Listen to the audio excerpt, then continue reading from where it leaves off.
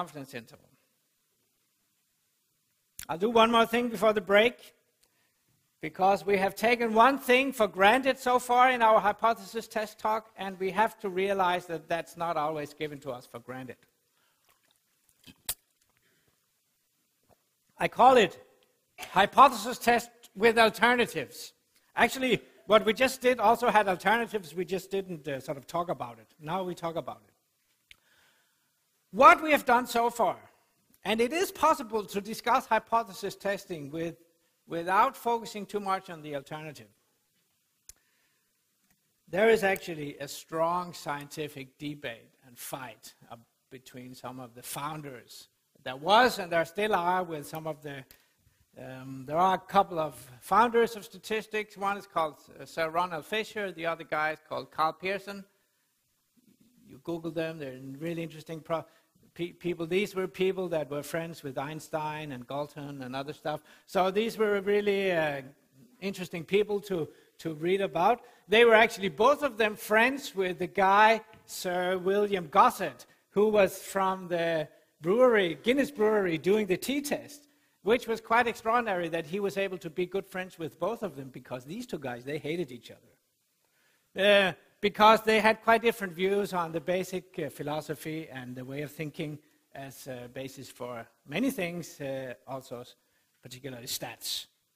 anyway, it makes you sleep bad at night when you dig into those. Probably you can find a quote in a book that I like, unfortunately, that probably statistics is one of the, probably the only of the major disciplines that you are taking in your ed, um, education here. You do physics, you do chemistry, you do math, you do biology, maybe, you do different things, basic areas. Probably statistics is the only on uh, big area with no safe ground under us.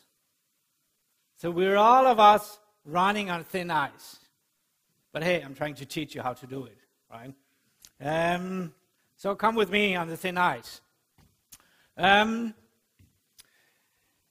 what we've done so far was to think when we tested whether B was different than A. That was also actually implicitly in my mind. With the alternative in my mind that it could be the null is no difference between A and B, right? The alternative could be that B is better than A, or it could be that A was better than B. I had no reason or law of nature to guide me in what could be the potential alternative to the two drug uh, medicines, uh, sorry, sleeping medicines, sleeping drugs was the same. So, my natural alternative, which we should use most often, actually. I would like to emphasize that. That is the most often used alternative, also the most intelligent one in most cases. That the alternative to something being the same is that it's different.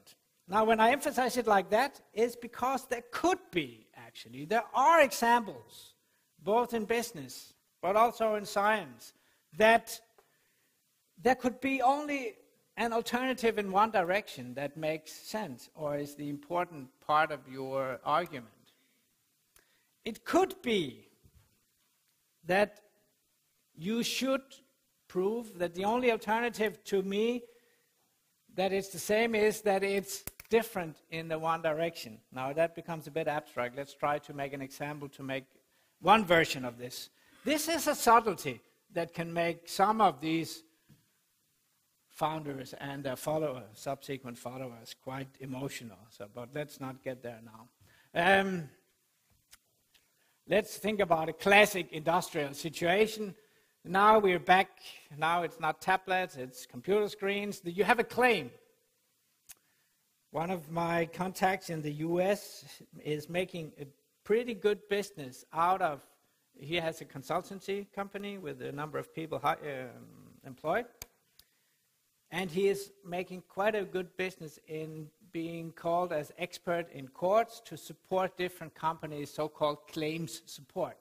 That they claim something and then other companies drag them in court and you have to be able to support by empirical uh, evidence that your claims about whether you produce creams or sugars or whatever you produce, you have some claims and you should be able to live up to them. And if you're in the US, you risk high, uh, expensive uh, uh, stuff if you don't do it.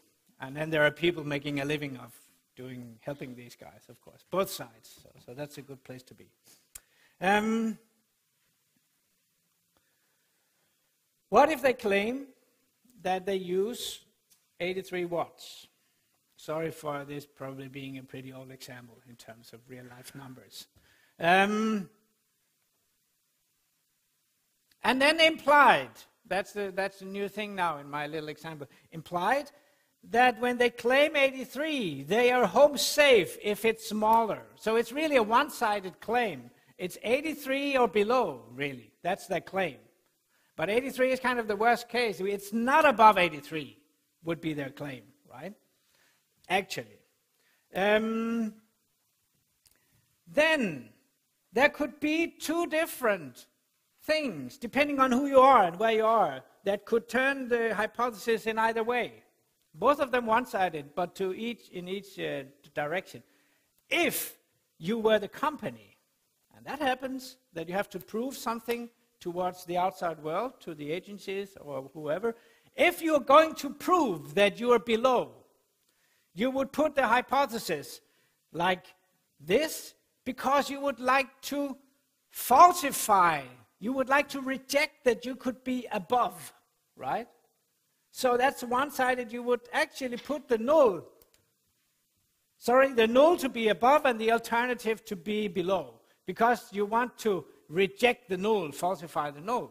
So that would be a one sided uh, argument that should be made here, a one sided alternative. However, if you were an external agency trying to hit the company, if you were the one to take the, make the proof that they are wrong, if that's the way it goes, that you as an, uh, some kind of agency would like to prove that they're wrong, you would put it the other way around.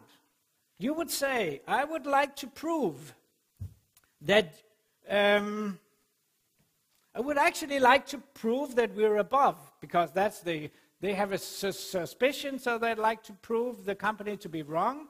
So I put the company's claim as the null and the being above as the alternative, trying to prove that it's above, right, this way, by falsifying that it's below. Now we can start to become a bit upside down in our heads. Um, so let's. Um, Let's uh,